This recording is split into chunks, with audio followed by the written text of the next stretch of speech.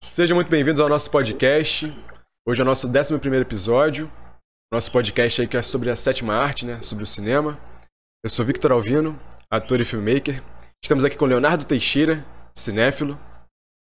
E como sempre, a gente busca trazer conhecimento para você. Além das curiosidades aí do cinema, a gente busca trazer sobre bastidores, como é que o projeto virou o projeto final, né? Como é que virou o filme, sobre os atores e tudo mais.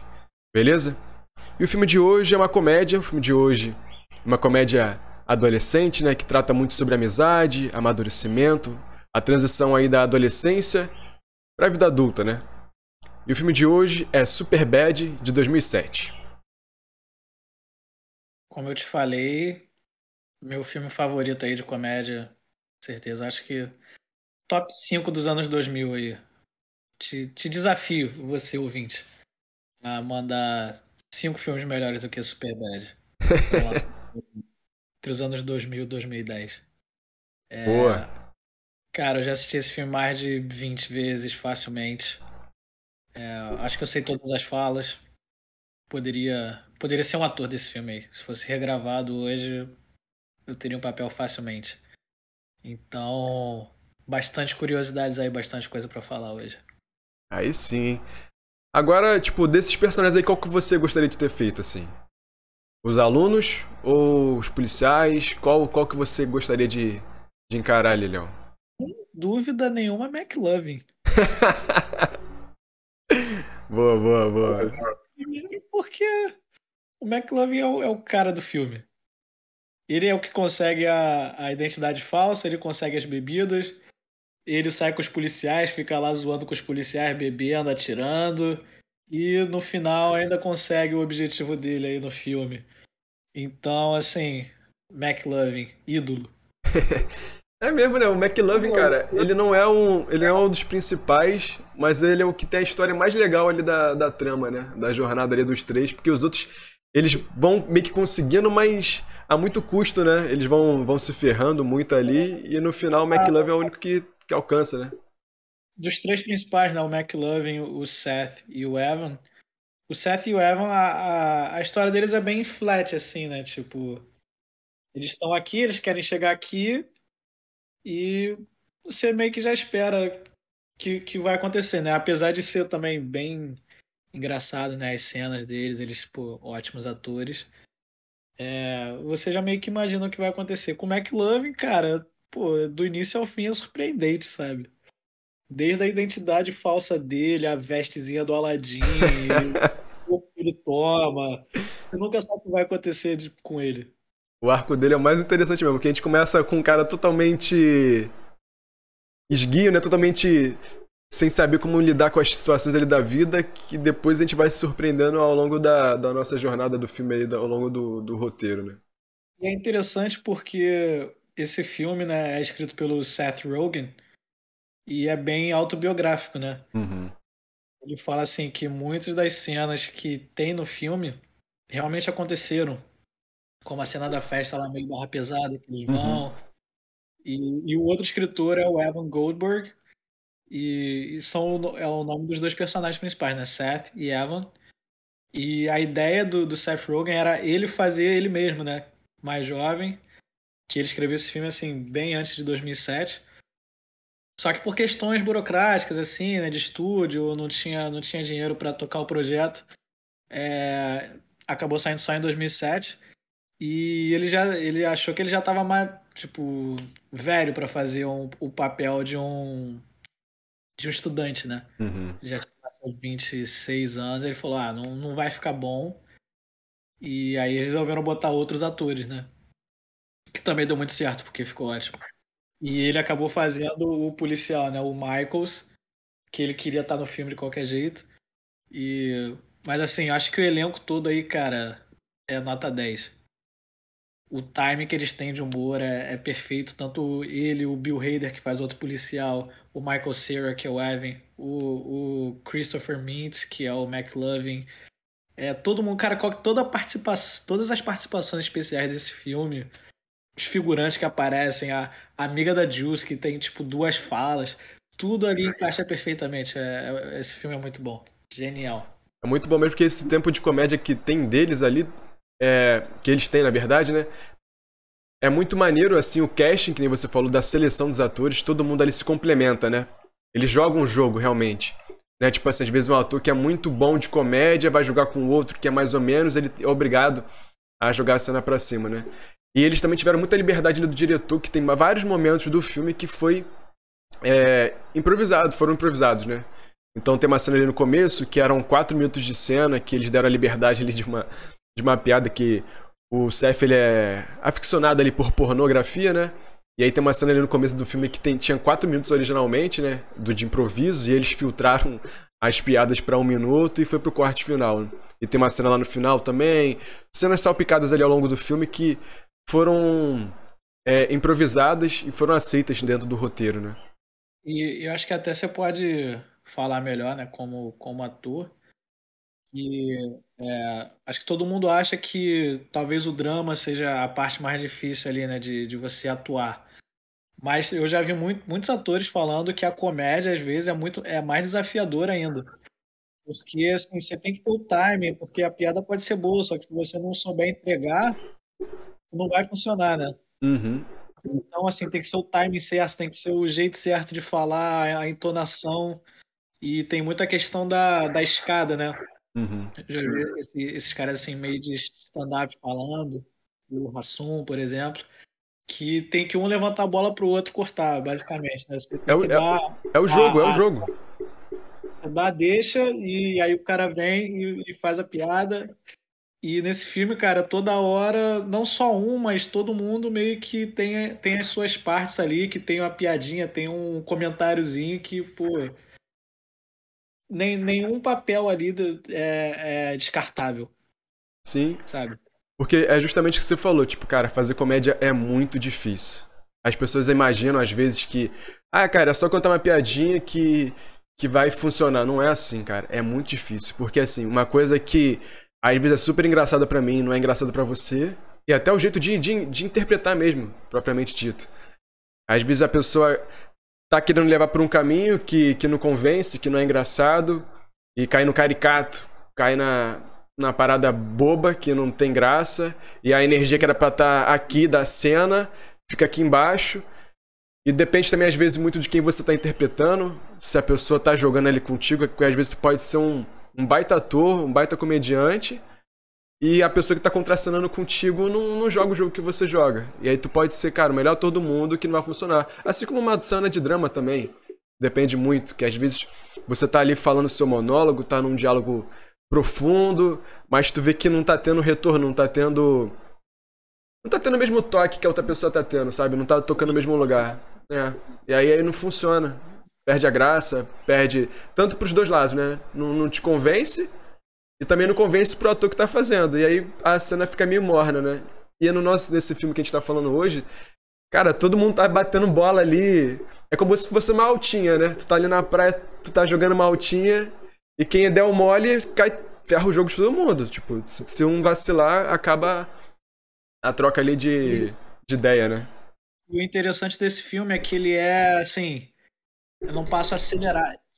Como é que eu vou, posso dizer? Ele não deixa a bola cair em nenhum momento, sabe? Uhum. Ele não é apressado, assim, as cenas não são corridas. Mas, assim, acontece isso, depois vai para isso, tem uma sequência lógica. E, assim, eles não perdem tempo, né? É, os diálogos são todos, assim, com alguma intençãozinha, assim, alguma piadinha, alguma coisa para te fazer rir. Você ri do início ao fim nesse filme.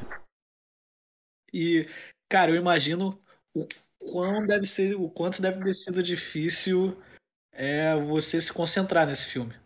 Uhum. Porque já todo mundo fazendo bobeira toda hora, atores pô, sensacionais, Bill Hader, Seth Rogen, e você ficar sério quando esses caras estão falando uma coisa totalmente absurda, sabe? E você tem que falar a sua parte também e, e entregar e ser engraçado também, né? É muito maneiro que às vezes a gente vai vendo os extras, né, de, de gravação, e é muito disso que tu tá falando, cara. Porque, assim, a, a gente como espectador acha engraçado, mas, tipo, você sendo ator, você vai achar engraçado do mesmo jeito, tá ligado? Tipo, não é porque você tá contracenando que você não vai achar graça da, da piada. Tu vai ver que eu tava vendo outro dia os bastidores desse filme, essa semana, E aí eles estavam fazendo a leitura de roteiro mesmo. O que, que acontece? Você fica numa sala, e aí todo mundo recebe aquela primeira leitura, né? O roteiro já tá finalizado, mas é, tem um bate-bola ali de todo mundo, tá? A equipe técnica, os diretores tal. E aí os atores ficam numa mesa gigante lá, e aí eles ficam lendo o roteiro, cada um lendo a sua fala, sem estar tá interpretando, né? Você já tá botando uma intenção na fala, lógico, mas você não tá interpretando, né? Totalmente. E aí tu vê que na, na cena que eles estão lendo lá um diálogo entre o, o Seth e o Evan, e aí, tipo, todo mundo tá rindo ali, tá? Todo mundo tá assistindo e rindo. Então é muito disso você fala assim, tipo, tu tem que se concentrar bem. Evidente que na edição pode funcionar, tipo, ah, o cara jogou uma parada aqui e acabou alguém rindo, mas ficou bom. Tem como pegar um pedacinho disso, colocar na edição e ir pro filme, mas no, durante as gravações deve ser complicado, porque tu acaba rindo, cara, não tem como, pô. O Léo fala uma parada engraçada aqui, eu vou rir e eu posso estar atuando, entendeu? É, é bizarro. E, cara, e tem várias, vários comentáriozinhos, assim, perspicazes no filme, né? porque a gente fala muito sobre diálogos aqui, né, e como isso engrandece os filmes. É, no, nesse caso da comédia, assim, não tem nenhum debate muito profundo ali, tem uma questão da amizade e tal, mas é, todas as falas, assim, tem uma piadinha, tem um duplo sentido, né, cara? Alguma coisinha assim, que também, tipo, torna o, o texto muito bom, né? Uhum. Tanto graficamente, porque eles também são engraçados, né? A comédia ali corporal, Uhum. quanto na, na fala, né? Por exemplo, o Eva é um cara todo serião, então ele fala uma coisa assim e acaba sendo engraçado, né? E o McLovin todo sem jeito, ele fala, não, eu sou o McLovin, quase desse cara, né? Que, que, coisa bizarra. É porque os é. três aí é engraçado até isso que tu tá falando, porque os três têm uma personalidade totalmente, personalidade totalmente diferente, né? O McLovin é o cara que a gente vai falar mais à frente, que é o Fogel, né? Que ele é um cara que ele não tem jeito para nada. Ele esquece dos, dos três, ele é o menos o menos jeito, né? E aí, mas ele quer ter essa confiança, quer ter essa autoconfiança, né? O Seth é o cara desbocadão, que fala o que pensa, xinga pra caramba, isso a gente vai ter até que ter. A gente tava até conversando antes, né, Léo? O Léo até veio com, com esse assunto de como que a gente ia abordar aqui o filme para falar sobre, porque ele tem muito palavrão e tem outras cenas também mais é, de sexo e tal. E o Evan, ele já é o cara mais contido, introvertido.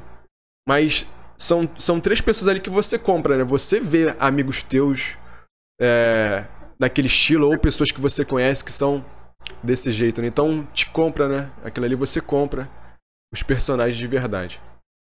E é engraçado que eu vi, eu já vi vídeos, assim, como eu falei, eu sou fã do filme, então eu já vi vários extras, bastidores é, do Michael Cera, que é o Evan, falando da relação deles no, durante as filmagens, que o Jonah Hill e o Christopher Mintz, eles não se davam bem. Na verdade, o Jonah Hill não se dava bem com o Christopher Mintz, ele, ele não ia com a cara dele, assim. Que doideira, cara. E, e tanto que no filme, né, tem várias picuinhas entre o Seth e o, e o Fogel. Eu vou chamar de McLovin porque é muito mais legal. Tá? entre o Seth e o McLovin que ele enche o saco do Seth, o Seth fica irritado com ele durante o filme todo, praticamente. E ele explode direto, né? Ele fala um monte de coisa. E aquilo ali é meio que atuação meio real também. e assim, ele já não gostava do cara, do, do ator. Então os personagens não se davam bem, então ele meio que botava aquilo para fora de verdade, assim, né? Dá muito mais Veracidade, é, né? cara, não sabia disso não, cara. Que doideira, cara. Que doideira. É que você imagina que todo mundo estava bem ali, né? Uhum. Mas não é o caso. Então tinha essa pontinha aí de. Tinha um fundo de verdade, né? É, eles não eram amigos. É engraçado assim, porque assim, dos três, o que faz o, o ator que interpreta o McLovin, ele tinha 17, né? Então ele era menor de idade. E os outros acho que tinham 18 e acho que o Jonah Hill acho que tinha 23. E é engraçado que é o que você falou que o Seth, na, na vida real, né? Ele que escreveu e foi baseado meio na, na, na, história dos dois roteiristas, né? Ele é só dois anos mais novo que ele e aparenta ter muito menos idade, né? No filme. Ele fotografa menos, né? Menos idade que a gente fala, né? Que é a pessoa aparentar ter menos ou mais idade, né? Ah, fulano fotografa mais, fulano fotografa menos. É ele aparentar ter mais ou menos idade, né? Fotografa mais, quer dizer que ele parece. Ter mais idade câmera. do que ele tem na câmera. É, isso daí é, acho que é normal também, né? A gente conhece, tipo, pessoas que estudaram com a gente com 15 anos que já tinham barba. tem gente com 25 que não tem nada, então isso também ajuda, né? Sei lá, as linhas faciais, tudo isso. É, lembra o, o, Moreno, né? Tu falou, a gente tava conversando que tu... Moreno tu, com 12 tinha barba.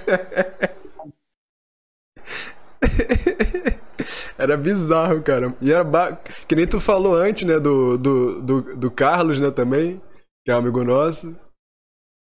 É, enquanto tem outros que, pô, a carinha é lisa, né? Exatamente. O Carlos, o Carlos faz, faz a barba num dia, no, no dia seguinte já tá parecendo o pescador parrudo. Exatamente. Eu, enquanto eu, me falta. Mal tenho bigode aqui. O meu é Nescauzinho. Isso aqui tem cinco meses. Tô nutrindo esse bigode aqui. Bigodinho meio mexicano, assim, né? Safadinho. Safadinho. Mas é isso. É uma, uma história muito maneira, assim, que tem, que tem esse arco. O Léo. Já tá falando, né, Léo? Da, da, da gente ter estudado antes, né? Juntos. É, pra quem não sabe, né, a gente estudou juntos aí, sei lá, desde o do ginásio, ensino fundamental, sei lá como é que é agora, né, mas 11, 12 anos.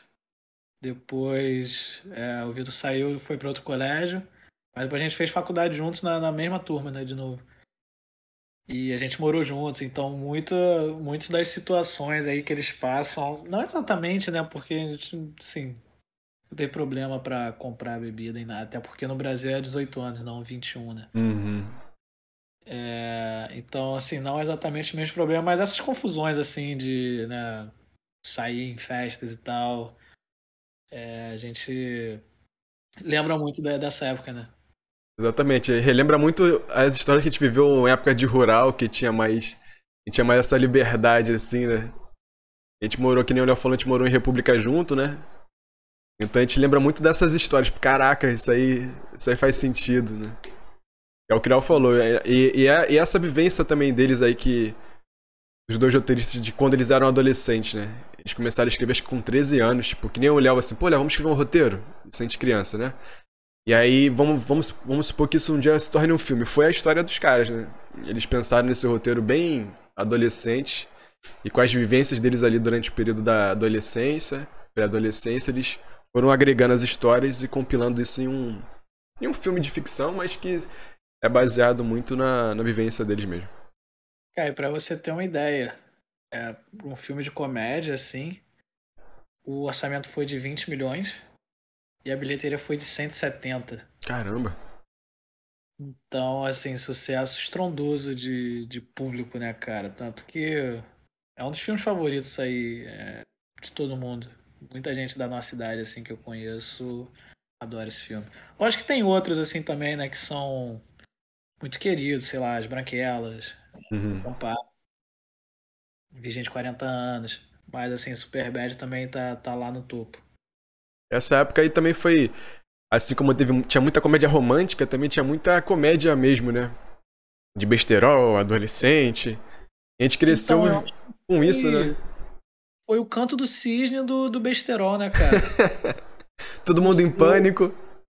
É, o não é mais um besterol americano. Não. É, teve todos esses, assim. E só que hoje em dia, acho que não, não sei se esse filme seria aceito hoje em dia, Superbad. Cara, eu, eu acho que com certeza isso não seria aprovado pelos estúdios aí. Por mais que o cara tivesse um baita de um roteiro, ninguém ia, ninguém ia comprar, porque a gente vive hoje em outra realidade, né? Do, dessa caixinha, entre, entre aspas, aqui, digamos assim, né? Do politicamente correto. Então, muitas das piadas que eram usadas ao longo do filme não poderiam ser usadas atualmente, né? Não, é, é totalmente ofensivo, né, cara? Mas. É aquele negócio, se você parar pra pensar, né, a gente tem que meio que contextualizar a época. Uhum. Friends hoje em dia jamais seria jamais seria aceito. Uhum. O que Friends faz de piada com, com mulher, com homossexual, né, cara? Ali o, o Ross é um cara muito problemático. É, hoje em dia não seria aceito e teria uma é, polêmica muito grande, com certeza. Mas assim, é provavelmente a maior série de comédia de todos os tempos, né? Uhum. Gerou mais comoção, todo mundo viu. Então, acho que a gente tem que saber separar, né? Hoje sim, em dia sim. não seria feito, mas na época foi, foi um filme engraçado e também as pessoas vão evoluindo, né? Então, uhum. daqui, por exemplo, sei lá, 20 anos, talvez o que a gente fala hoje também não. Não sirva mais, né? Né? Então, é só ter esse cuidado. Exatamente, mas, é um, mas é mesmo assim, é o que a gente tá falando aqui, é um, é um ótimo filme, né? Absurdo, cara. É genial. Todo, todas as cenas ali é, fazem parte de um todo, tem um porquê. E até chegar no, no momento final lá, né? E é o que a gente tava conversando, tipo. É, o Léo trouxe isso, né? Que eu realmente não tinha nem, nem, nem parado para pensar sobre isso, né? Que tudo se passa num dia, né, Léo? Que você tava conversando com a gente, né? A gente tava conversando aqui anteriormente, né? Eu fui parar pra pensar falei, caraca. Porque é, o enredo é basicamente igual ao American Pie. Né? São três amigos aqui nesse caso, né? No American Pie eram mais. É, que tentam, né? Estão querendo perder a virgindade antes de terminar a, o ensino médio. E eles têm ali as, as garotas que eles gostam, né? Que eles né, pretendem ter alguma coisa. E eles querem ficar juntos com elas durante o verão para quando chegar na faculdade eles já serem bons né, no negócio e conseguirem aproveitar melhor a faculdade.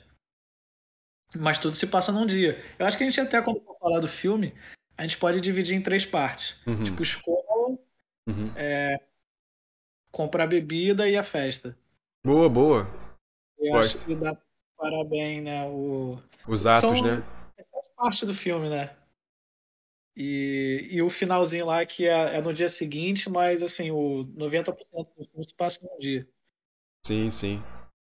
E aí justamente a sinopse que o Léo falou aí é basicamente um enredo, é uma coisa simples, mas muito funcional, né?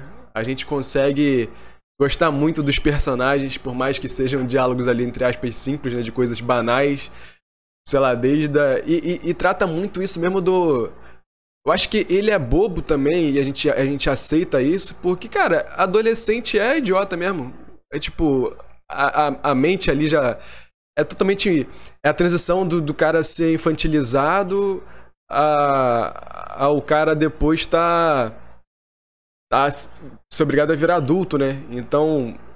A gente, a gente entende, a gente entende. Cara, eu não tenho nada contra o clichê, sabe?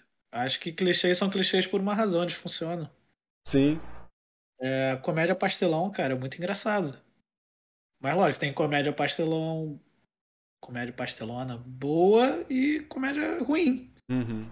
Como tem comédia romântica ótima e tem comédia romântica chata. E dramas bons e dramas ruins, assim. Acho que. Assim, a fórmula é, é teoricamente a mesma, né? Tem um é igual você falou, né? Tem um, um conflito e tem a resolução do conflito. Só que como isso acontece é que faz o filme ser bom ou ruim, né, cara? Sim, e, sim. lógico, os diálogos, as atuações, o, a direção ajudam. Então, assim, o clichê funciona, igual é drama adolescente, né? Intriga, malhação. Pô, malhação ficou no ar 20 anos É, porque não, até chegou uma hora que ficou ruim. Uhum. E não, não tinha mais interesse, mas você repetir a mesma. Os Simpsons tá aí até hoje. Sim, sim. Então você não, às vezes não tem que redescobrir, né? Reinventar a roda. Uhum. É fazer o feijão com arroz, mas fazer o feijão com arroz bem feito, né? Se for para pensar, tipo, é igual o um filme de herói, cara. É, mesmo, é sempre o mesmo arco que a gente chama que é o arco do herói, né? É um cara que não sabe quem ele é, e aí ele tem a jornada lá que ele descobre um mentor, Aí o mentor vai e mostra pra ele quais são os poderes dele. Aí depois dos poderes ele tem uma coisa que abala a vida dele, ele tem que se redescobrir, se reinventar e superar a barreira para voltar tudo. E aí, cara, é sempre a mesma coisa, só que cada um faz de um jeito, né? É, e, e, igual a gente já falou em programas anteriores aí de, de Shakespeare, uhum. o pessoal faz releitura de Shakespeare até hoje, né, cara? Uhum.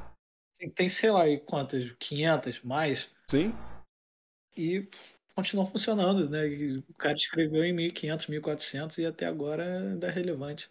É, porque aquele 10 coisas que eu odeio em você, né, que a gente falou aqui anteriormente, é baseado num livro de Shakespeare que você, se você for parar pra pensar, você não...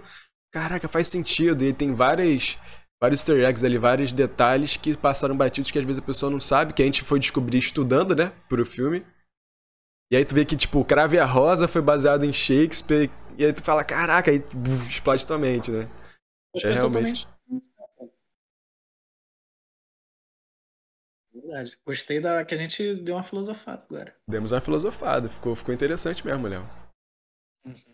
E agora, se você quiser, já pode entrar agora na parte da ficha técnica, Léo. A gente pode falar um pouquinho ali brevemente sobre isso, agregando algumas. Eu sei que a gente já deu uma pincelada, né? A respeito, mas a gente pode falar um pouco mais. O filme é de 2007, é escrito por Seth Rogen, Evan Goldberg.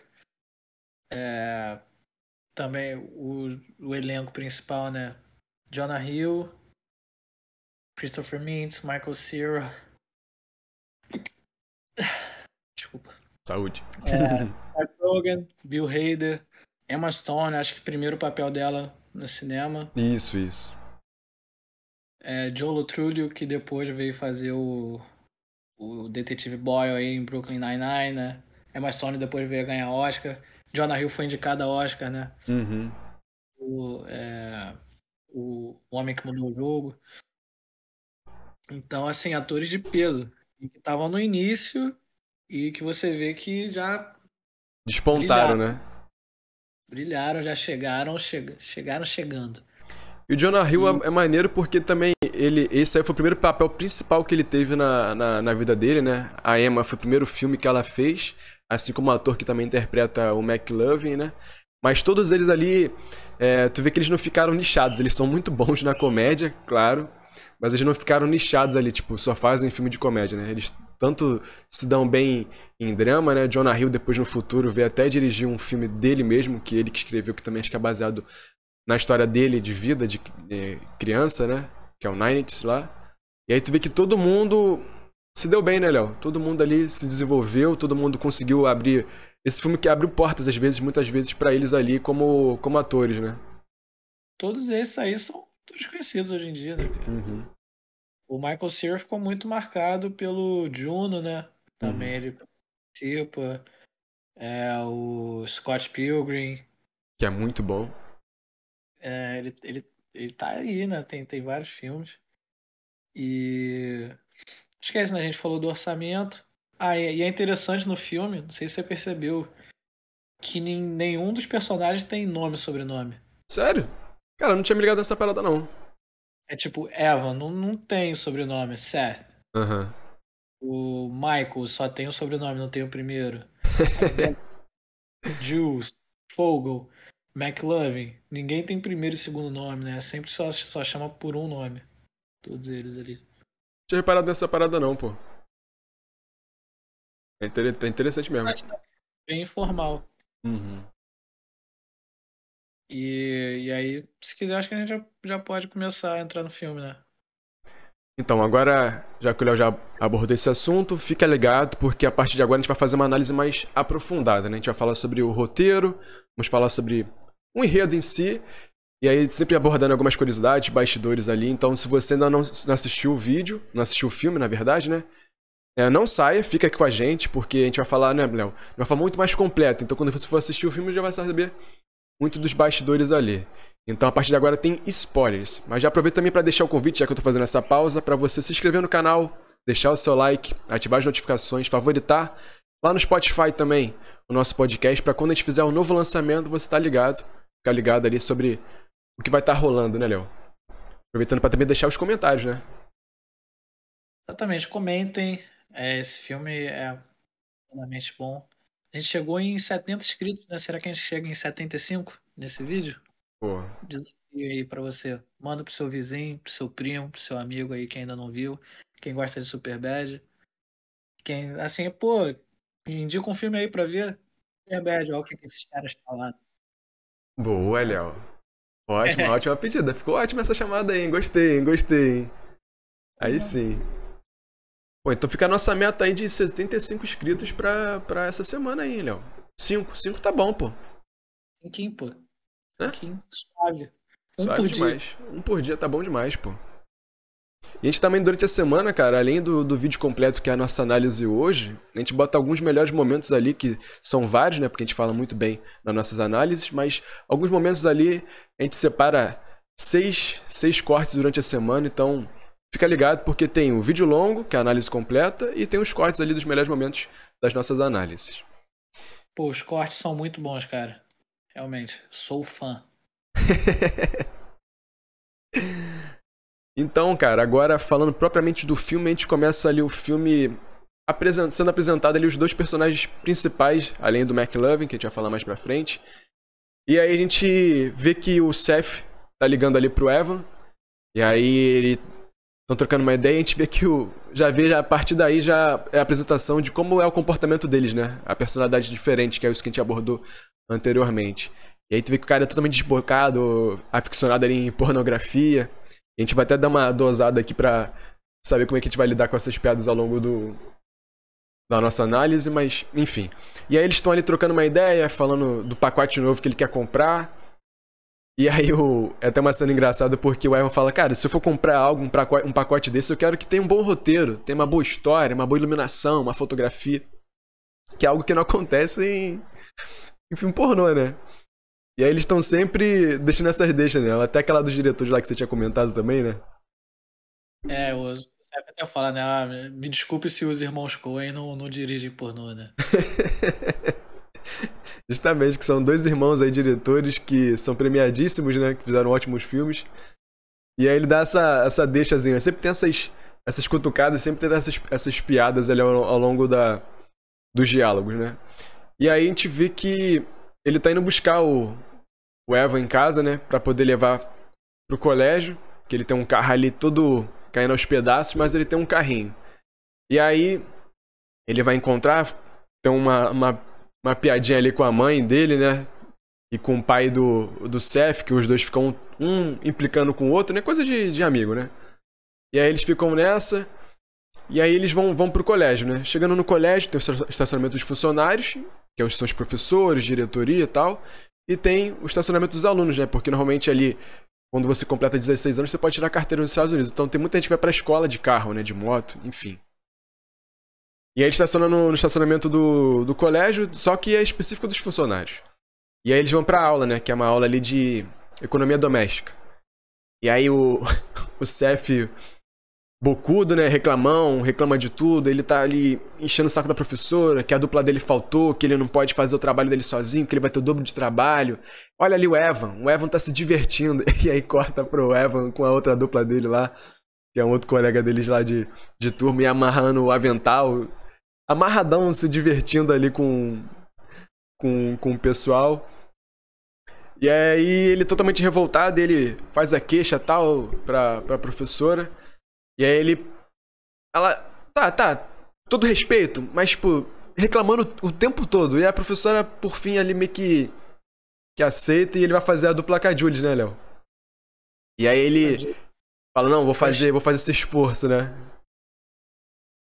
Que é a crush dele, e aí ele fica já tocando terror ali, né? Zoando o baile durante que, que eles têm que fazer um tiramisu, né? Ele pega os ingredientes, aí fica lá e fingindo estar fazendo certas coisas. E o Evan fica rindo, tipo, olha que animal, né? Olha o que esse cara tá fazendo. E a Jules, incrivelmente, conversa com ele, né? Gosta dele e tal. E aí ela fala com o Seth, né? Que os pais dela viajaram que ela vai dar uma festa. Uhum. No- Só- é só em, em filme americano mesmo que isso acontece, né? Os pais viajam, aí, sei lá, uma terça-feira o pessoal resolve fazer uma festa e vai todo mundo à escola, né? Todo mundo sabe, todo mundo tem tempo, todo mundo pode ir, todo mundo arruma a bebida. Enfim, ninguém tem que estudar, ninguém tem prova. Né? Mas beleza. É da realidade deles ali, né? É, só foi um pequeno desabafo aqui. Aí chama ele pra festa, né? E ele fica todo empolgadinho, né? Que ele fala, pô, é minha chance, não sei o que, de conseguir alguma coisa com ela. É porque. Eu até esqueci de mencionar isso anteriormente, né? Quando eles vão pra ali uma loja de conveniência que tem é, nesse, nesse, nesse espaço do tempo ali, entre ele deixar o carro no estacionamento e ir pra aula, eles vão numa loja de conveniência que ele fala assim, cara, eu tenho que comprar um, um energético porque, pô, os caras sugaram três anos da minha vida, eu quero que se dane o mundo aqui. E, cara, é, o nosso objetivo, que aí é o tema principal do filme, né, além da amizade, que é eles têm que ir pra faculdade e eles estão, cada um passa pra uma faculdade diferente ali, e aí é, eles querem ir pra faculdade sabendo transar. Eles não, eles não querem chegar na faculdade sendo os virgões ali da parada. Então, o objetivo deles ao longo do filme inteiro é transar porque eles querem ter experiência para chegar na faculdade já sabendo como é que faz né, as coisas, né, Léo? É isso. E aí ele achou que seria a oportunidade perfeita, né? Com a Jules. E ele comenta com Eva, né? Que, e ele sabe que o Eva gosta da. E Sinal é uma gracinha, né, aquela atriz. é gata mesmo. As duas são gatas, né? E. E aí, o Evan meio que também, né? Beleza, vamos. E aí o Fogel, vulgo McLovin, por enquanto ainda Fogel, entra na história, né? E vai falar com eles. E aí fala, né, que ele conseguiu arrumar uma identidade falsa que vai pegar mais tarde. E aí o Seth já, né, pensa em tudo, fala, não, então você vai comprar as bebidas pra festa, já que você tem uma identidade falsa, e a gente vai chegar lá e vamos ser os maiorais, né? A gente vai levar a bebida da festa. Uhum. Concorda, deixa um dinheiro com ele, né? Faz uma listinha, ah, pega isso daqui pra mim. E tá tudo pronto para dar certo, mas aí é quando começa a dar as confusões, né? Primeiro de tudo, o carro do Seth foi rebocado. Obviamente. O Wilson parou na, na estacionamento errado. Foi rebocado. E aí ele não podia ir para casa. Então eles foram pra casa do Evan. Só que ele tinha que se trocar, né? Porque ele não podia ir com a mesma roupa que ele tava na escola. Uhum. Como ele disse, aí ó, já é uma piada bem pesada, né? Mas eu acho ela muito boa. Porque o Evan fala, né? Por que, que você não vai com, com essa roupa aí? Falou, tá maluco, ninguém consegue transar de bermuda desde o Vietnã. bermuda camuflada.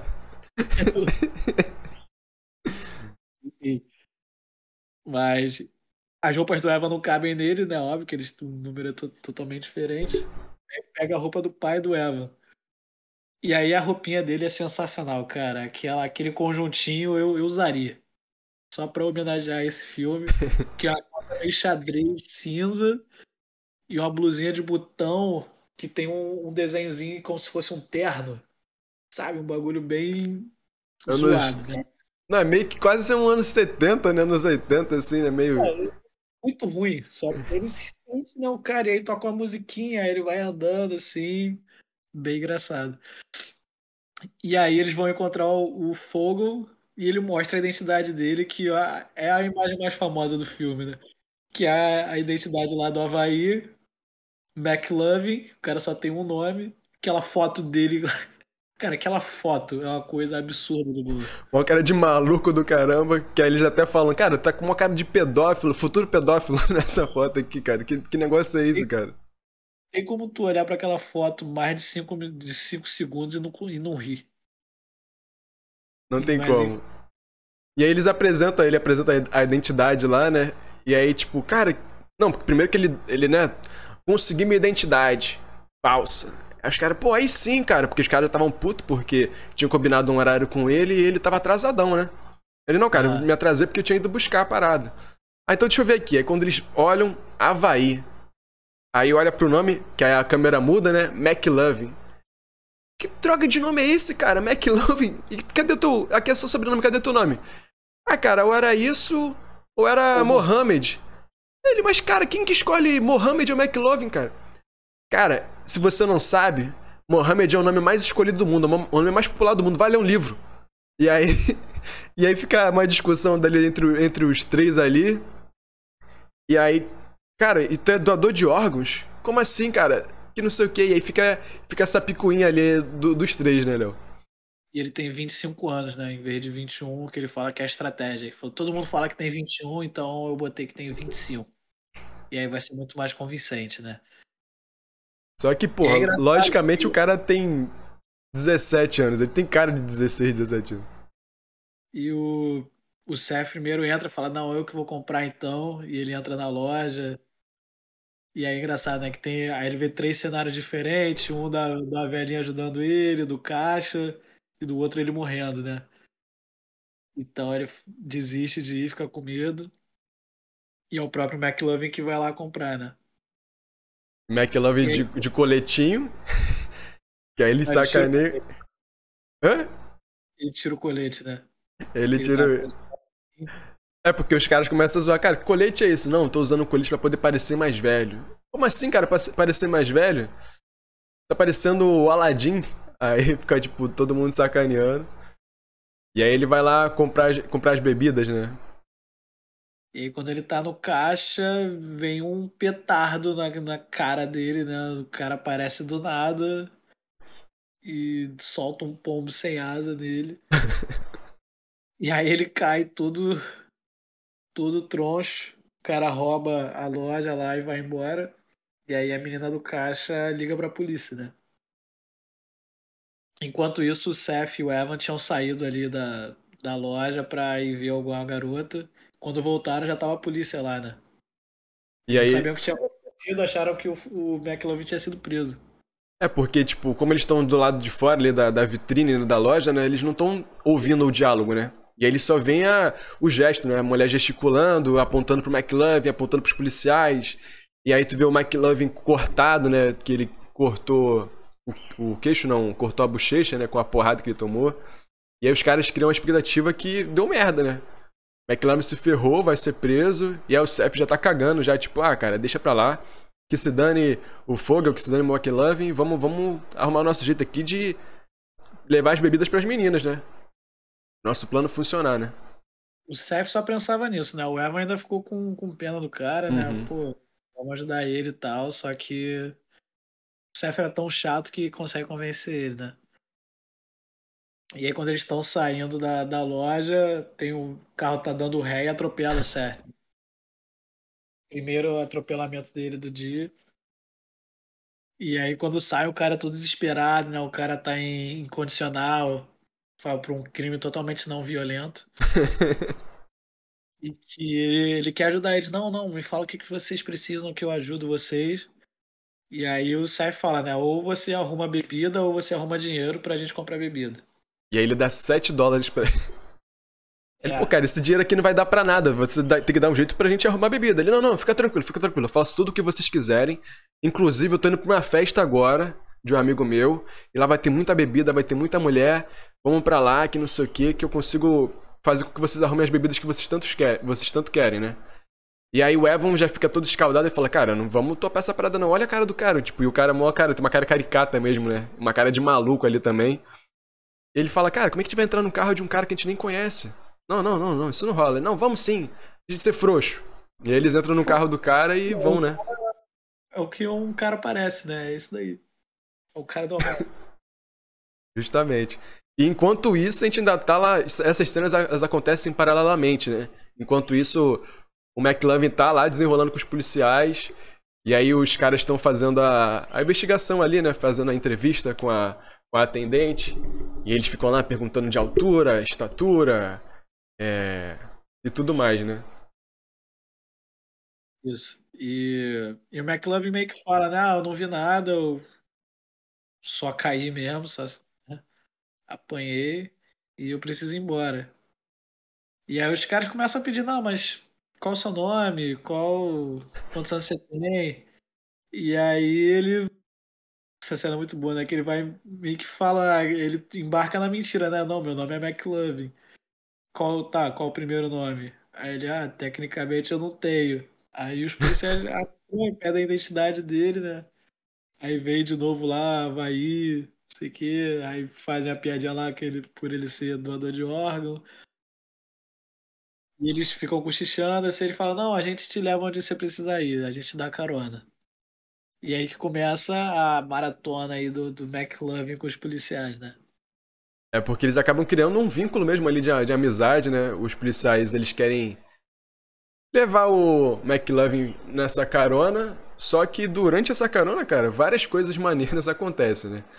E aí eles eles vão trocar ideia com ele, vão falando lá, e aí o que o Léo falou anteriormente, tipo, eles vão furando sinal vermelho, ligando sirene. E eles vão atender a um, a um chamado, né, Léo? No bar lá. No bar, porque segundo o Slater, né, que é um dos policiais, é... uma chamada num bar, no pior do cenário, você ganha a cerveja de graça. Justamente. Então, e aí é pra prender um coroa que tá lá, né? Meio que causando confusão, um mendigo. E aí eles não conseguem, o cara começa a correr, né, eles não conseguem ir atrás do cara, e o McLovin que acaba parando o cara, né? O É porque o, o personagem do Michaels, que é vivido pelo, pelo Seth Rogen lá, ele, ele é recém-formado na polícia, né? Então ele não tem jeito nenhum pra poder fazer nada. E o, enquanto o Slater ele já é mais experiente, né? Já tá antes na já tem tempo que ele tá na corporação, né? E aí nessa abordagem eles não conseguem prender, fica naquela confusão, confusão, o cara foge pra cozinha, sem querer esbarra no McLovin, McLovin que vai consegue parar o cara, né? Parar a fuga do cara. E aí eles ficam, caraca, McLovin, tu é, tu é o cara, pô, tu conseguiu prender o o meliante, não sei o quê. Vamos tomar uma bebida aqui, vou pagar uma cerveja pra você. E eles vão pro, pro, pro balcão lá do bar pra poder beber cerveja. E aí eles começam a conversar, né? Falar sobre. É, o Slater fala: não, não, nunca conheço uma mulher no bar. Minha primeira esposa eu conheci no bar. E o Marcos fala: foi nesse bar, né? A gente foi casado durante não sei quantos anos e ele descobriu que era uma prostituta, né? E. E, e eles vão conversando e tal, né? É um, um diálogo engraçado. Aí fala, ah, aí vem uma outra chamada, né? Eles vão embora. A gente devia levar uma, uma cerveja pra viagem, né? Aí o cara, é, vê aí 13 pra viagem. não vai dar pra pagar porque, né? A gente tá num Gente. chamado aqui, não vai poder, a gente não vai ter tempo de pagar. E aí os caras saem soprando bafômetro, né? Dando tiro em placa, lá se divertindo pela cidade. É porque eles começam um a sacanear o outro que fala, pô, cara, tu não é bom de mira. Se você fosse bom de mira, a gente tinha conseguido prender os caras. Ele, pô, mas eu ma- eu matei um cara. Não, você matou, mas o cara já tava morto quando você atirou. Não, mas aí eles ficam naquela disputa, né? E começa a atirar em placa, uma placa de pare lá que tem. E aí todo mundo doidão. E é engraçado que aí eles estão lá naquela correria lá de. Na zoeira. E aí eles escutam uma sirene, né? Aí eles mesmo. Ih, caraca, ferrou! É a polícia! Sendo que os caras que são, são policiais também da parada, tá ligado? E aí, nesse meio tempo, o, o Seth e o Evan estão nessa festa que eles, que eles foram levados ali pelo, pelo carona deles também, né? Isso. E é uma festa bem barra pesada, assim, né? Uma festa meio de gangue, sei lá. Os caras meio mal encarados. Inclusive o dono da festa, né? Vestindo a camisa do Brasil. é, não é amigo do, do, do cara lá que deu a carona. Inclusive dá uma surra e expulsa o cara da festa, né? E os dois, né, o Evan, ficam assim, pô, o cara que apanhou foi que convidou a gente pra vir, né? E aí o Evan quer ir embora, que ele, pô, não quer se meter em confusão, e o Seth quer pegar as bebidas, porque é o objetivo dele, né? Não, a gente precisa levar as bebidas pra festa. E eles meio que brigam, o Evan vai embora da festa, e o Seth fica lá sozinho. Não, então eu vou pegar as bebidas sozinho. Só que nisso ele começa a dançar, né, com uma mulher aleatória lá. E aí, a inclusive a dancinha dele é bem engraçada também, né? E tudo duro. E aí eles estão dançando lá, coladinho. Só que depois ele vê que a, a, a mulher tava menstruada, né? E, fica, e mancha a calça dele. Uhum. E aí os- as outras pessoas na festa começam a olhar, cara, que que é isso que se cortou e tal. E começa a fazer um bullyingzinho com ele ali, né? Que eu nunca vi isso na minha vida. Aí vão chamando os outros pra ver, ele fica desesperado. Aí ele vai pro, pro basement lá tentar achar alguma coisa pra, pra limpar. Enquanto isso, o Evan, quando saiu, tentou falar com a Becca, né? A Becca ligou pra ele. Isso. E o telefone tava. Tava fora de área ali direito, né? Porque Como eles estavam numa área distante, ele... a ligação fica toda picotada, né? E aí ele começa a xingar a operadora ali, e pra ela só tá saindo os palavrões, aí ele. Ela, pô, porque ele tá sendo agressivo comigo, não sei o quê. E ela fica sem entender, porque ela liga pra saber se ele vai pra festa, né? Porque ele era afim dela, mas ela também era afim dele. Só que ele, como não sabia lidar muito bem, ele não tava nem entendendo os sinais que ela tava dando, né? desde o colégio lá, quando ela pede para ele levar uma bebida específica lá que, que ela quer, que é uma, uma vodka com glitter lá. E aí ele fala, pô, não tô conseguindo falar com ela, vou tentar arrumar um lugar aqui para poder ver se tem um telefone, né? E aí ele, ele vai pra volta. uma. Uh, volta pra festa, ele vai pra um quarto, e aí chega lá no quarto, vai falar pra ela, com ela de um telefone fixo, né? E ele consegue explicar, pô, cara, o sinal tava ruim, não, não tava te entendendo direito, mas só pra avisar que eu já tô indo pra festa, daqui a pouco a gente tá chegando aí. E vai dar tudo certo e tal. Ela, ah, beleza, porque eu tava preocupada, querendo saber se você viria, né? E aí ele, ele tá lá nesse, nesse quartinho, aí do nada, quando ele desliga, entra uma galera no quarto. Os caras tudo estranho, pá, não sei o que, vou matar fulano, que fulano mexeu comigo, vou quebrar o cara na porrada, que não sei o que. E o Evan quietinho lá no canto, todo desesperado, sem entender o que, o que faria, né? E aí os caras começam a cheirar tal, e o cara cada vez mais constrangido, né? E é justamente essa festa aí tão, tão doida, né? Que foi uma das festas que inspiraram eles também no, numa, nessa cena do roteiro, né? Porque quando eles eram adolescentes, com 14, 13 anos também, eles foram numa festa de um amigo deles que era comediante e tava se mudando, né? Tava indo para outra cidade. E aí durante essa festa também teve essa, essa mesma história louca aí, praticamente. Não exatamente essa mesma linha do tempo, né? Mas uma, foi baseado nisso, né? E aí ele fica sem saber o que fazer. Fica constrangido até que o cara confunde ele com, com outro rapaz, né? Ah, você foi fulano de tal, né? O cantor.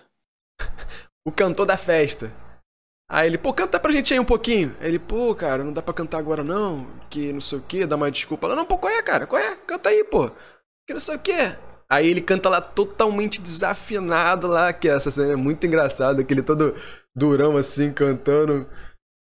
E aí tu, é um misto de nervosismo do cara já não saber cantar mesmo, tudo envol, envolvido. E aí, aí a gente volta pra festa lá também. E é engraçado que acontece muita coisa ao mesmo tempo, né, Léo? E aí volta pra confusão lá, que é a confusão que tu tava falando com o Seth. É, e aí o cara que é o dono da festa é namorado da mulher que tava, que tava menstruada lá. Então o cara também tá com a mancha. E ele vê o Seth também e fala assim, tá, que mancha é essa? Você tá com, com a minha mulher? E aí ele tenta dar desculpa ali, né? Só que não cola muito, o cara vai para cima dele, só que aí acaba acertando o outro. E aí vira a briga generalizada, né? A festa toda começa a brigar e, e, os dois conseguem fugir com, com as bebidas, conseguem roubar as bebidas e, e levar, né? E aí nesse e aí, meio a... a mulher liga, né? A noiva dele. Cara, isso é que quem atende é o Michaels e o, e o Slater, né? E aí quando corta pra eles, aí não sei se você percebeu. Ah. A música que tá tocando no rádio é a mesma que o Evan tava cantando. Pô, que maneiro. Não me liguei nisso aí não, não me liguei não. Pô, maneiro aí. Um bom link, Léo. Tá, tá tocando a musiquinha no rádio, eles estão ouvindo. É a mesma que ele tá cantando. E aí os dois estão. Já, já tá os três chapados, né? Voando no carro.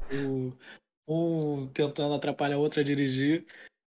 E nisso eles estão indo pra festa, o Evan e o Seth estão fugindo. E aí atropela o Seth, né? O Seth atropela pela segunda vez no filme.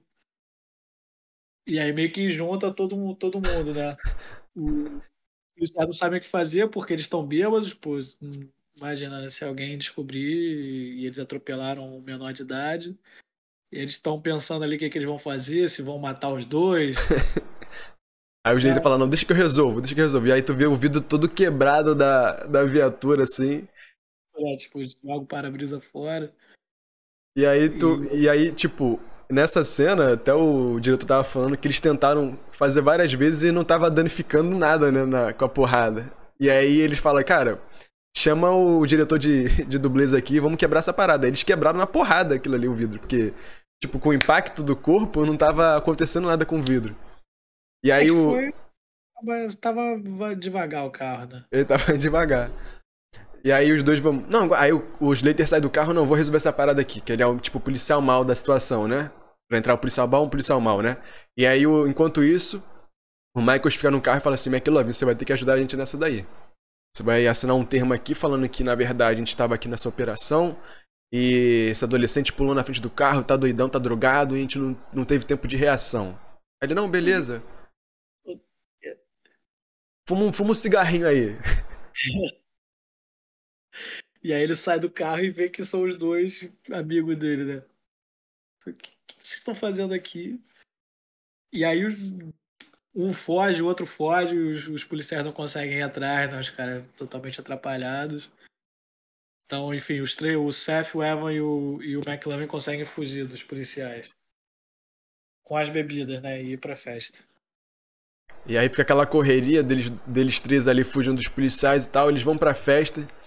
E aí chega na festa, né? Aquela. Não, não, antes disso, lembrei aqui agora de uma parada que é a discussão, né? Que eles têm ali. Enquanto eles não, não, não se encontram ainda, eles ficam. Eles estão nervosos ali porque eles, como eles estão indo pra universidade diferente, né? É o que o Léo tinha falado anteriormente. Ele se sente, o Seth se sente abandonado tal, porque o Evan é mais inteligente que ele, conseguiu pra uma, uma universidade melhor. E ele fica chateado porque ele não tinha contado para ele que ele ia fazer a faculdade com o McLovin e tudo mais. Ele fica revoltado. Ele fala, cara, perdi muito tempo da minha vida com você, você só fala besteira, você só tá preocupado em, em transar e é isso aí, tua vida é só se resume a isso, pornografia, e eu não, não sou assim. E aí tem meio que uma, uma rachadura ali na, na amizade deles, né? Verdade, bom ponto. Tanto que eles chegam na festa meio brigados, né? Uhum. E aí vai para um canto. O McLovin totalmente confiante, bêbado, né? Já. Pô, top da balada, já chega na, na menina que ele, tinha, que ele tinha visto na escola de manhã, né? E aí, sou McLovin. Galã, galanteador, né? E, e aí começa, vai desenrolando a festa, né? O Elva encontra com a Beca, que já tá, né, mais louca que o Abril. e o Seth começa é, encontra com a Jules, começa a conversar, começa a beber. E aí tem a, a, as três cenas diferentes, né? Uhum. É, o Evan com a Becca, ela já tá, ela já tá bem bêbada e quer ficar com ele, chama ele pro quarto e tal, e vai tirando a roupa, vai falando um monte de coisa, e ele tá, tá com medo, né? Ele fala assim, ah, não, que, que a gente tá bêbado, pô, minha cabeça tá girando é, vamos deixar pra fazer isso outro dia. E ela não gosta, né? Ela dá uns porros nele. Só que logo depois ela vomita tudo. Uhum. Manda embora, chama a minha amiga. E. Né, acaba pro Evan né, dar errado. Ele fica no sofazinho lá bebendo. chorando, chorando as mágoas lá, porque Tipo, ele ficou cheio de, de cuidado com ela e ela ficou. Tipo, ela, ela também só queria perder a virgindade. Ela não tava preocupada tanto com as paradas, né? E aí ele fica revoltado lá, aí começa a encher a cara lá com, com um cara que era amigo dele, da a dupla, né, da, da, da aula de economia doméstica, né? E aí o Seth, né, também pede para falar com a Jules, ah, vamos lá para fora e tal. E aí tenta ficar com ela, e ela fala que não, porque ele tá bêbado. Ele fala, ah, mas você também tá bêbado, tá todo mundo bêbado. E ela fala que ela não bebe. E que, né, tipo, não queria fazer aquilo na, naquele momento. E aí ele fica desolado, né? Ele, pô, passei tudo isso hoje, fui atropelado, consegui as bebidas, chegou aqui e o plano falhou, né? E aí ele sai, começa a chorar. Depois ele... ela aparece pra falar com ele, né? Fala assim, você tá chorando? Ele, não, não. E... Só que eles começam a conversar e ele meio que desmaia, assim, cai pra frente, né? E dá uma cabeçada na, na cara dela, coitada. E é engraçado porque essa cena toda ela foi improvisada. Essa cena aí que ele se abre para ela e fala que era só um negócio que ele tava sentindo nos olhos, que ele não tava chorando, e depois ele realmente fala que ficou triste. Tudo isso foi totalmente improvisado. E aí o diretor aprovou, né? Ele entrou com um acordo ali, viu que a parada funcionou e foi pro corte final, né? Então essa cena toda foi foi improvisada. E aí nisso, tipo, a polícia que é são os dois policiais lá são chamados, né?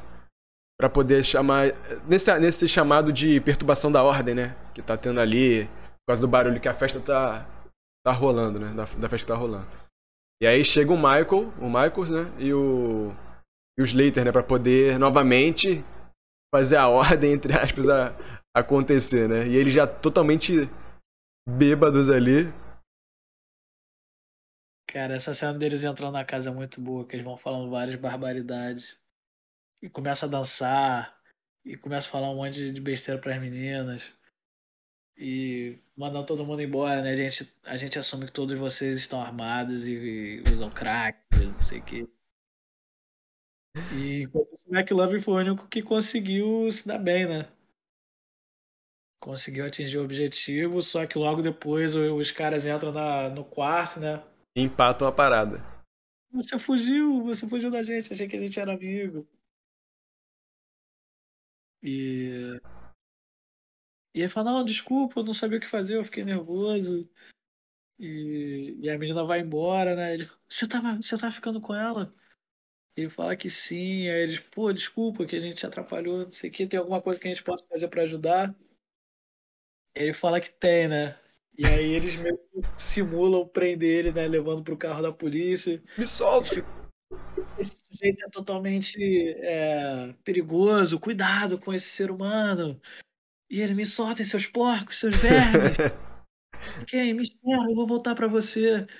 E a menina fica toda, né? Ai, olha que cara perigoso, né? Não sei o que, fica meio admirado.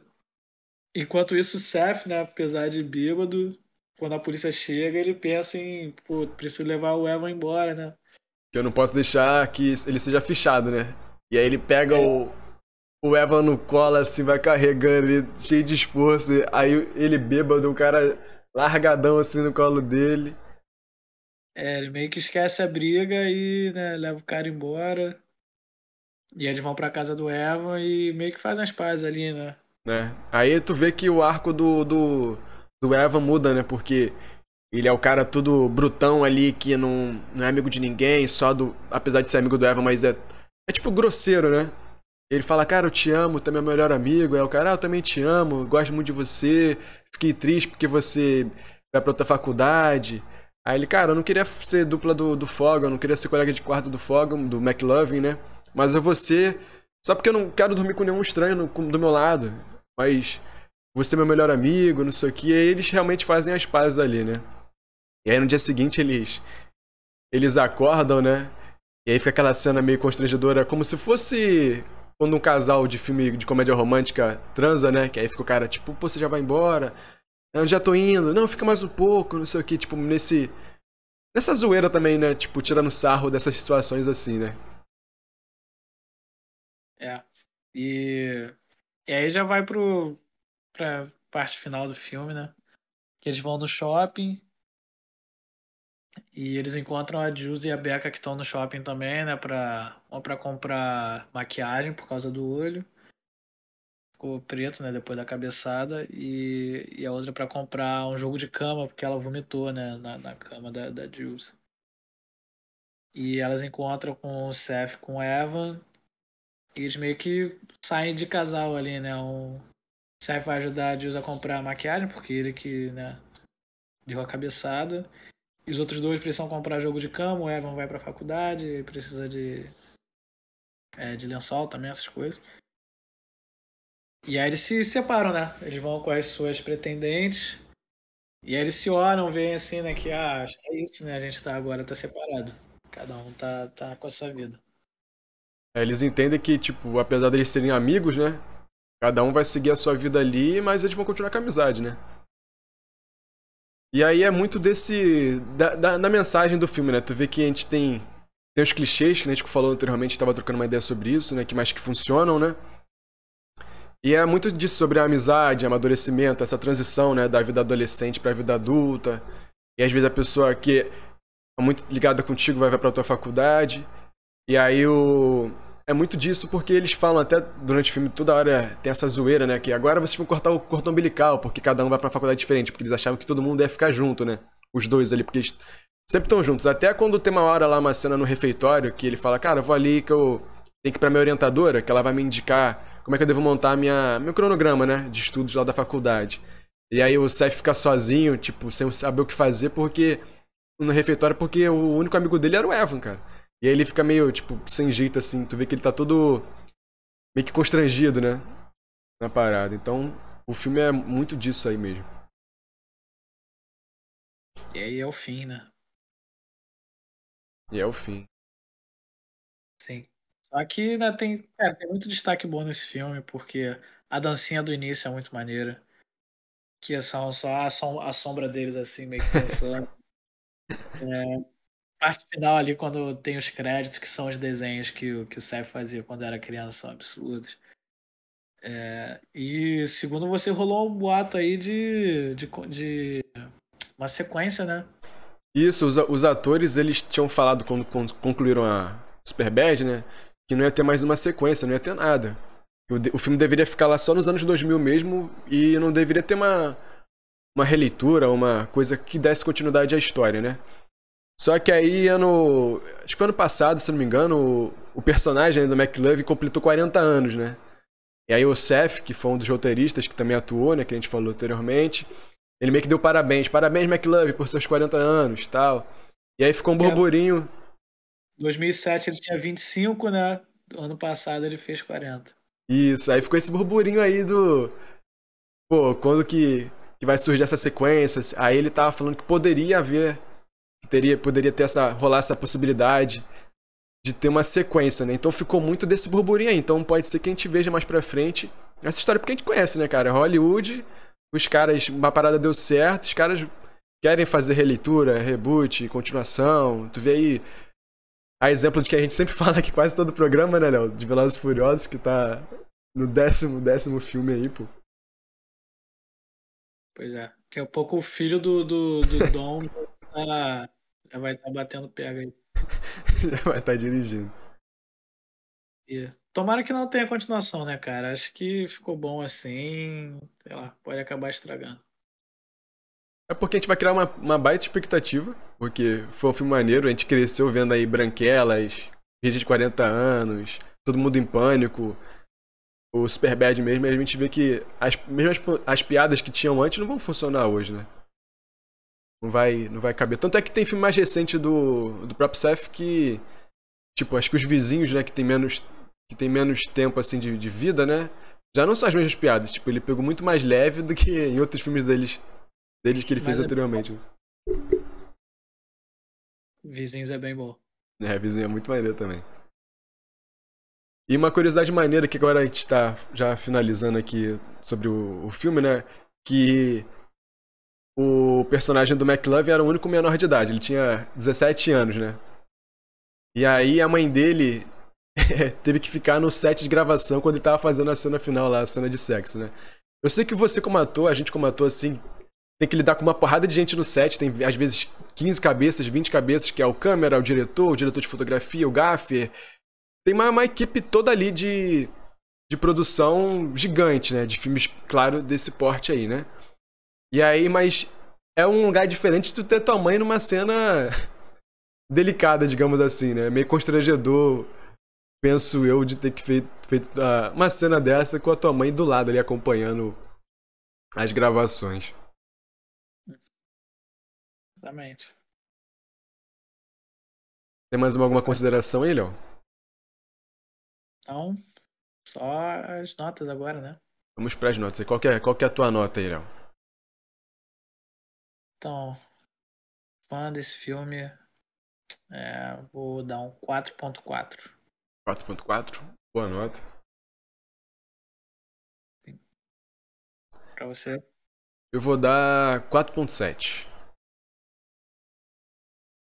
Gosto. Eu, eu gosto do filme também, muito disso que você falou, né? Desse, do enredo. É, eu compro os personagens, porque às vezes, às vezes a gente vê, tipo, sei lá, American Pie, os caras têm.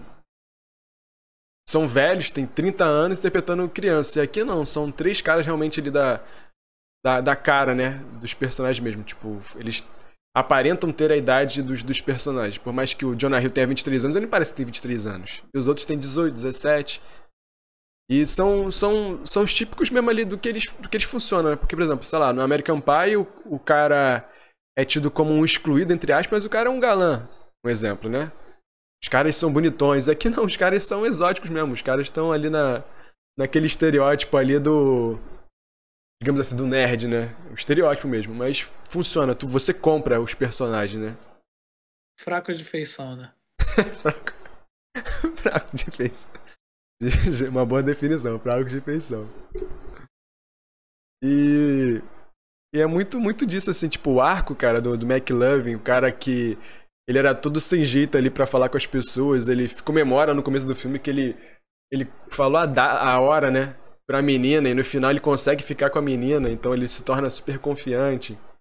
O Seth, que era um cara bocudo, que falava palavrão, que não tava nem pra ninguém, que era marrentão, que era o, o brabo ali da equipe, ali da galera. Depois ele vai ficando mais é, mais flexível, né? Ele abre o coração dele ali pro, pro Evo. Eu acho que o único que não tem um arco tão grande assim, ao meu ver, não sei, é o personagem do, do Eva, né? Que não tem esse arco tão diferente. Ele. É o que tu falou, né, Léo? Naquela hora que é flat, né? É, ele já é mais centrado, né? Ele já é um cara que já fazia as coisas certas, assim, né? Única, o que ele fez foi se, se desculpar com o Seth também, né? No final ali. Meio que admitir, né? Que ele não perdeu tempo. Ele tava ali porque ele queria também. Uhum. Justamente. Então é isso, né? Fechamos aí. Quero agradecer a você que está nos vendo pelo YouTube ou nos ouvindo aí pelo Spotify. E deixo novamente aqui o convite para você se inscrever no canal, ativar as notificações, clique lá em todas para você receber todas as notificações. Deixar o seu like porque é o nosso termômetro pra gente saber se você está gostando ou não dos nossos vídeos. E como sempre o Léo fala aqui, né, Léo? Deixe seu comentário. Já, já mencionamos, né? Deixe seu comentário aí, fale o que você achou do filme também. Outros filmes de comédia tão bons quanto. E é isso aí. Tamo junto, Léo. Até a próxima semana. Valeu.